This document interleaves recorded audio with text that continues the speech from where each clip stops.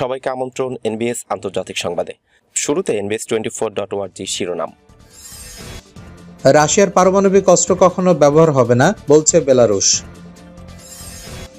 আফগানিস্তান সীমান্তে ছয় জঙ্গিকে হত্যার দাবি পাকিস্তানের। জার্মানিতে প্রতিনিয়তই বর্ণবাদ, বৈষম্যের শিকার মুসলিমরা, যা বলছে প্রতিবেদন। চীনে নিষেধাজ্ঞা বিরোধী আইন পাশ, আরও শক্তিধর হচ্ছেন প্রেসিডেন্ট জিনপিং। সুইডেনে ধর্ম অবমাননা বৈঠকে বসছেন ইসলামী নেতারা। মতিউল্লাহ ওয়েসাকে মুক্তি দিতে তালেবানের প্রতি আহ্বান এমনেস্টির এবং ফ্রান্সে ভয়াবহ দাঙ্গা ইউরোপীয় ইউনিয়নের শীর্ষ সম্মেলন ত্যাগ করতে বাধ্য হলেন ম্যাক্রন। দর্শক এতক্ষণ শুনছিলেন শিরোনাম এবার বিস্তারিত। বিস্তারিত খবর পড়ছি আমি ফজলে রাব্বি। রাশিয়ার পারমাণবিক অস্ত্র কখনো ব্যবহার হবে না বলছে বেলারুশ। মিনোসকে সম্প্রতি মোতায়েন করা রাশিয়ার কৌশলগত পারমাণবিক অস্ত্র কখনো ব্যবহৃত হবে না বলে জানিয়েছেন বেলারুশের প্রেসিডেন্ট আলেকজান্ডার লুকাশেঙ্কো। সাবেক সোভিয়েত রাষ্ট্রের জাতীয় দিবস উপলক্ষে দেওয়া বক্তব্যের এক পর্যায়ে শুক্রবার ত্রিশে জুন এমন মন্তব্য করেছেন ক্রেমলিনের এই কঠোর মিত্র। শনিবার এক প্রতিবেদনে রয়টার্স এ খবর জানিয়েছে। তিনি বলেন, আমি নিশ্চিত যে এগুলো পারমাণবিক অস্ত্র আমাদের কখনোই ব্যবহারের প্রয়োজন হবে না। আমাদের ভূখণ্ডে কোনো শত্রু প্রবেশ করবে না। তবে প্রয়োজন পড়লে এসব অস্ত্র ব্যবহার করতে দ্বিধা করবেন না বলেও জানিয়েছেন তিনি। রাষ্ট্রীয় ক্ষতির সংখ্যা থেকে মুক্ত হতে আগ্রাসন ঠেকাতে পারমাণবিক অস্ত্র প্রয়োজন বলে দাবি করেছেন লুকাশেঙ্কো। রুশ প্রেসিডেন্ট ভ্লাদিমির পুতিন তিনিও বরাবরই রাষ্ট্রীয় ক্ষতির চেষ্টার জন্য পশ্চিমাদের অভিযুক্ত করে আসছেন। ইউক্রেন যুদ্ধে রাশিয়াকে পুরোদমে সমর্থন করে আসছেন বেলারুশের প্রেসিডেন্ট। সম্প্রতি বেলারুশে পারমাণবিক অস্ত্র মোতায়েন করেছে রাশিয়া। বিষয়টি নিয়ে যুক্তরাষ্ট্র পশ্চিমা দেশগুলো সমালোচনার মুখে পড়তে হয়েছে পুতিনকে। এসব সমালোচনার জবাবে তিনি বলেছেন, এমন পদক্ষেপের মাধ্যমে পারমাণবিক চুক্তি ভঙ্গ করতে পারেনি রাশিয়া। এছাড়া যুক্তরাষ্ট্র উদাহরণ দিয়ে তিনি বলেছেন, অনেক আগে থেকে ইউরোপের দেশগুলোতে পারমাণবিক অস্ত্র মোতায়েন করে আসছে হোয়াইট হাউস। আফগানিস্তান সীমান্তে ছয় জঙ্গিকে হত্যার দাবি পাকিস্তানের। আফগানিস্তানের সীমান্তবর্তী অঞ্চলে দুটি জঙ্গি আস্থানে অভিযান চালিয়ে ছয় বিদ্রোহীকে হত্যা করা হয়েছে বলে দাবি করেছে পাকিস্তানের সামরিক বাহিনী। ট্যাঙ্ক এবং উত্তর ওয়াজিরাস্তান জেলায় শুক্রবার ভোরে অভিযান দুটি চালানো হয়। পাকিস্তানের নিরাপত্তা বাহিনী এক বিবৃতিতে জানায়, আফগানিস্তানের সীমান্তবর্তী এলাকার জঙ্গিদের অনুপ্রবেশ ঠেকাতে বিশ্বাসযোগ্য গোয়েন্দা তথ্যের ভিত্তিতে অভিযান চালানো হয়। এ সময় দুই পক্ষের মধ্যে তীব্র গোলাগুলি হয়। নিরাপত্তা বাহিনী গোপন আস্তানা থেকে অস্ত্র ও গোলাবারুদ জব্দ করেছে। এলাকায় এখনও ক্লিয়ারেন্স অপারেশন চলছে। সামরিক বাহিনী নিহতদের পরিচয় বা সংশ্লিষ্টতা সম্পর্কে বিস্তারিত কিছু জানায়নি। তবে বেশিরভাগ জঙ্গির তেহরিকি তালেবান বা টিটিপি পাকিস্তানের দলভুক্ত বলে দাবি করেছে নিরাপত্তা বাহিনী। এরা সাধারণত পাকিস্তানের তালেবান নামে পরিচিত। টিটিপি একটি আলাদা গোষ্ঠী হলো আফগান তালেবানের সঙ্গে তারা জোটবদ্ধ। দুই হাজার একুশ সালে আগস্টে প্রতিবেশী দেশে ক্ষমতা দখল করে তালেবান। আফগানিস্তানের তালেবানের দখলদারিত্ব পাকিস্তানের তালেবানদের দারুণ উৎসাহিত করেছে। তারা সাম্প্রতিক মাসগুলোতে পুলিশ ও সেনাদের উপর হামলা বাড়িয়েছে। পাকিস্তান আফগানিস্তান সীমান্তে আইএস এর উপস্থিতিও টের পাওয়া যাচ্ছে। চলতি সপ্তাহের শুরুতে নিরাপত্তা বাহিনী আফগানিস্তানের সীমান্তবর্তী উত্তর পশ্চিম খাইবার পাখতনখাওয়া প্রদেশের বাজুর জেলায় গোয়েন্দা ভিত্তিক অভিযান চালিয়ে শফিউল্লাহ নামে একজন আইএস কমান্ডারকে হত্যা করেছে। পাকিস্তানের সামরিক বাহিনী সাম্প্রতিক বছরগুলোতে আফগান সীমান্তের উপজাতীয় অঞ্চলে বড় ধরনের অভিযান চালিয়েছে। অঞ্চলটি কয়েক দশক ধরে স্থানীয় বিদেশি জঙ্গিদের নিরাপদ আশ্রয়স্থল হিসেবে কাজ করছে। জার্মানিতে প্রতিনিয়তই বর্ণবাদ বৈষম্যের শিকার মুসলিমরা, যা বলছে প্রতিবেদন। জার্মানিতে মুসলিমরা দৈনন্দিন জীবনে প্রায় ব্যাপক বৈষম্য ঘৃণা এবং কখনো কখনো সহিংসতার মুখোমুখি হন। বার্লিনের স্বরাষ্ট্র মন্ত্রণালয়ের তত্ত্বাবধানে সম্পন্ন হওয়া নতুন এক প্রতিবেদনে এমন চিত্রই উঠে এসেছে। বৈষম্য বিরোধী বিভিন্ন সংস্থা কাউন্সেলিং সেন্টার ও বেসরকারি সংস্থার বৈজ্ঞানিক গবেষণা, পুলিশের নথিভুক্ত অপরাধের পরিসংখ্যান ও মুসলিম বিরোধী ঘটনার নথিপত্র বিশ্লেষণ করে the independent group of experts on Muslim hostility বা ইউইএম এমনটা বলছে। বারো সদস্যের স্বতন্ত্র প্যানেলের প্রকাশিত চারশো পৃষ্ঠা সমন্বিত এই প্রতিবেদন চূড়ান্ত করতে তিন বছর সময় লেগেছে। বৃহস্পতিবার প্রতিবেদনটি স্বরাষ্ট্র মন্ত্রণালয়ের হাতে তুলে দেওয়া হয়। ইউএম বলছে, নিজের ধর্মীয় বিশ্বাসের কারণে জার্মানিতে এক তৃতীয়াংশ মুসলিম বিরূপ অভিজ্ঞতার মুখোমুখি হয়েছেন। বিশেষজ্ঞরা অবশ্য জোর দিয়ে বলেছেন, প্রকৃত সংখ্যা সম্ভবত বেশি, কারণ মুসলিমদের মাত্র দশ শতাংশ তাদের সঙ্গে বিরূপ আচরণ ও ঘৃণামূলক অপরাধের অভিযোগ করেছেন বলে মনে হচ্ছে। স্বরাষ্ট্রমন্ত্রী ন্যান্সি ফেসার এক বিবৃতিতে বলেছেন, মুসলিম জীবন অবশ্যই জার্মানির অংশ। প্রতিবেদনটি গ্রহণের সময় তিনি বলেন, জার্মানি পঞ্চাশ পঞ্চান্ন লাখ মুসলিমের অনেকেই দৈনন্দিন জীবনে বর্জন ও বৈষম্যের শিকার, যা ঘৃণা ও সহিংসতা পর্যন্ত গিয়ে ঠেকেছে।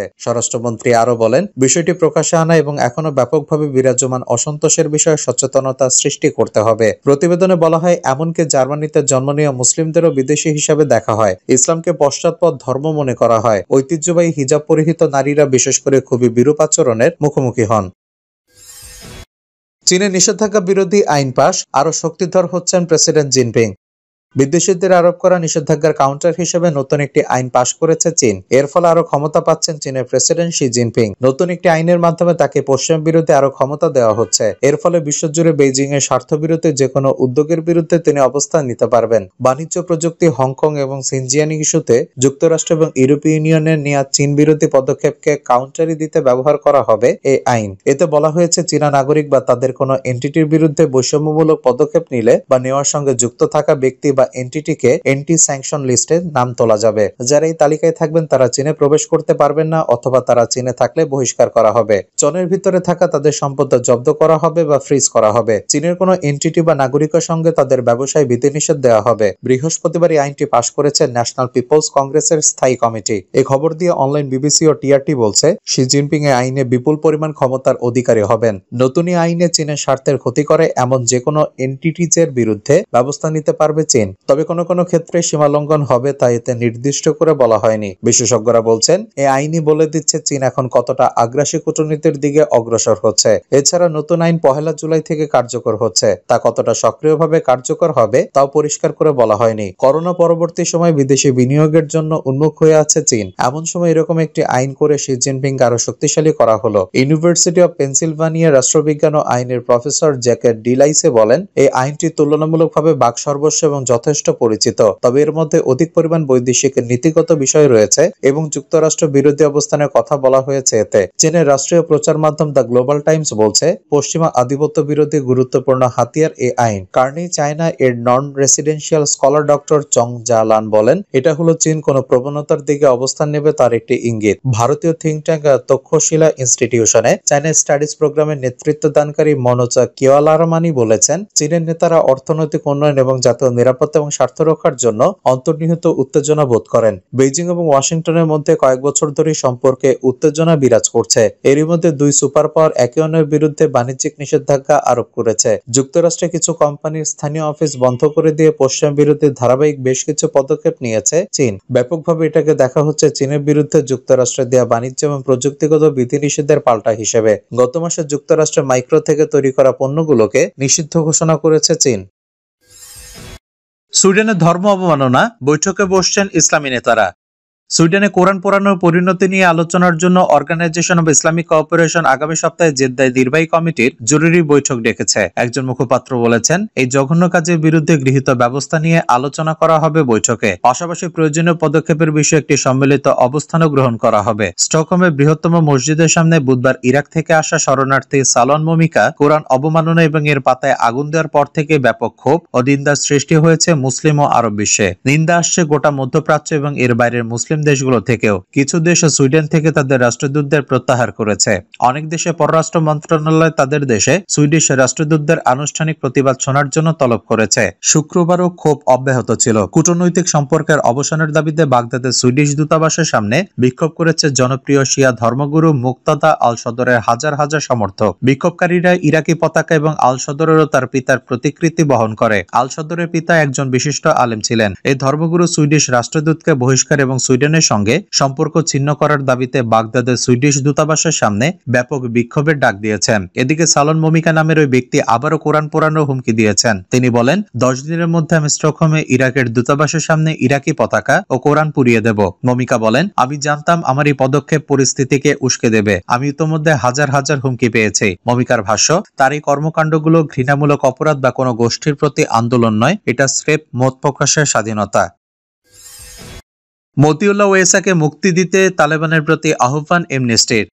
আফগানিস্তানে গ্রেপ্তার দেশটির প্রখ্যাত নারী শিক্ষা অধিকার কর্মী মতিউল্লাহ ওয়েসাকে অবিলম্বে মুক্তি দেওয়ার আহ্বান জানিয়েছে অ্যামনেস্টি ইন্টারন্যাশনাল। সম্প্রতি এক টুইটে অ্যামনেস্টি বলেছে, ওয়েসার আটক আন্তর্জাতিক মানবাধিকার আইনের অধীনে মত প্রকাশের স্বাধীনতা এবং শান্তিপূর্ণ সমাবেশের অধিকারের সুস্পষ্ট লঙ্ঘন। ওয়েসা দীর্ঘদিন ধরে আফগানিস্তানে মোবাইল স্কুল পরিচালনা করে আসছিলেন। সেই সঙ্গে মোবাইল লাইব্রেরি সেবাও দিয়েছিলেন তারা। তাকে গত সাতাশে মার্চ গ্রেপ্তার করা হয়। ওয়েসার পরিবার জানিয়েছে, তার স্বাস্থ্যের অবস্থা উদ্বেগজনক এবং গ্রেপ্তারের পর থেকে তারা তার সঙ্গে যোগাযোগ করতে পারছে না। গত মে মাসের শুরুতে এমনেস্টি ইন্টারন্যাশনাল তালেবান কর্তৃপক্ষকে মতিউল্লাহ ওয়েসা ও আরও কয়েকজন মানবাধিকার কর্মীকে মুক্তি দিতে বলেছিল। তবে এই বিষয়ে এখন পর্যন্ত কিছুই করা হয়নি বলে জানিয়েছে খামা প্রেস। ফ্রান্সে ভয়াবহ দাঙ্গা ইউরোপীয় ইউনিয়নের শীর্ষ সম্মেলন ত্যাগ করতে বাধ্য হলেন ম্যাক্রন। ফ্রান্সের প্রেসিডেন্ট ইমানুয়েল ম্যাক্রন বেলজিয়াম সফর সংক্ষিপ্ত করে দেশে ফিরতে বাধ্য হয়েছেন। তিনি ইউরোপীয় ইউনিয়নের শীর্ষ সম্মেলনে যোগ দেওয়ার জন্য ব্রাসেলসে অবস্থান করছিলেন। ইউরোপীয় ইউনিয়নের শীর্ষ সম্মেলনে যোগ দেওয়ার পর ম্যাক্রনের সংবাদ সম্মেলনে বক্তব্য রাখার কথা ছিল, কিন্তু তিনি তা বাদ দিয়ে দেশের মারাত্মক দাঙ্গা পরিস্থিতির কারণে প্যারিসে ফিরতে বাধ্য হন। দেশে ফিরে তিনি একটি ক্রাইসিস মিটিং এর সভাপতিত্ব করেন। গত মঙ্গলবার ফ্রান্সের রাজধানী প্যারিসের পশ্চিমাঞ্চলে পুলিশের গুলিতে সতেরো বছর এক কিশোর নিহত হওয়ার ঘটনায় ভয়াবহ দাঙ্গা ছড়িয়ে পড়ে। দাঙ্গায় জড়িত থাকার দায়ে এ পর্যন্ত অন্তত আটশো পঁচাত্তর জনকে আটক করা হয়েছে বলে দেশটির স্বরাষ্ট্র মন্ত্রণালয় জানিয়েছে। ফরাসি পুলিশের তথ্য অনুযায়ী, সতেরো বছর বয়সে এক কিশোর সিগন্যাল অমান্য করলে পুলিশ তার উপর গুলি চালায়, এতে তার মৃত্যু হয়। এদিকে দেশে ফিরে ম্যাক্রন চলমান দাঙ্গা পরিস্থিতির জন্য ভিডিও গেমস ও সামাজিক মাধ্যমগুলোকে দায়ী করেছেন। তিনি বলেন, ভার্চুয়াল জগতের তথ্য অভিজ্ঞতা নিয়ে দেশের কিশোর তরুণরা এই দাঙ্গা পরিস্থিতিকে বিষিয়ে তুলছে। প্রেসিডেন্ট ম্যাক্রন সুস্পষ্ট করে বলেন, এই পর্যন্ত দাঙ্গায় জড়িত যাদেরকে আটক করা হয়েছে, তাদের এক তৃতীয়াংশ তরুণ অথবা কিশোর। এসব তরুণ কিশোরের উপর ইন্টারনেটের নেতিবাচক প্রভাব পড়েছে বলে তিনি মন্তব্য করেন। দর্শক, এই ছিল এখনকার মতো। আমাদের পরবর্তী সংবাদ দেখার আমন্ত্রণ জানিয়ে বিদায় নিচ্ছি আমি শফিউল আলম আরাফ।